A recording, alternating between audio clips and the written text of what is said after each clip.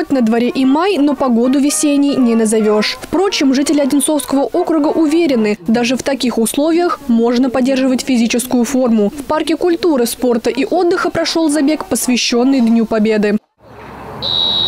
Дан старт заключительному забегу. По-спортивному отметить праздник приходили семьями. Например, Марина Бадаева. Для нее этот забег не первый.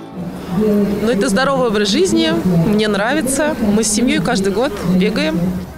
Марина пришла на забег вместе с девятилетней дочкой, потому что убеждена, активный образ жизни нужно прививать с детства. Тяжело только в начале. На финише заряд позитива и прилив энергии гарантированы, говорит спортсменка. Ну, когда бежишь первый километр-два, тебе тяжело. Ты вбегаешь в темп, а потом уже удовольствие, э, эндорфины, вот, чувство радости.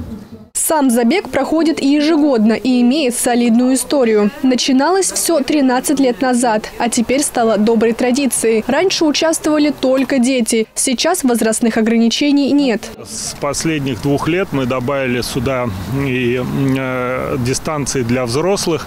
То есть э, такое сейчас полноценное семейное мероприятие, посвященное э, Дню Великой Победы. Первыми стартовали девочки 16 года рождения и младше. Дистанция 600 метров. Возможно, для них это маленький шаг в большой спорт. Но пока впереди первый финиш. Пять, четыре, три, две, одна, Последними бежали мужчины и женщины разных возрастов. Их дистанция 4,5 и 9 километров. Среди участников были и новички, и профессионалы, и даже иностранцы. Победители ждали кубки и медали, а также ценные призы от спонсоров. Евгения Климова, Дарья Шамова, Артем Ломоносов, телекомпания «Одинцова».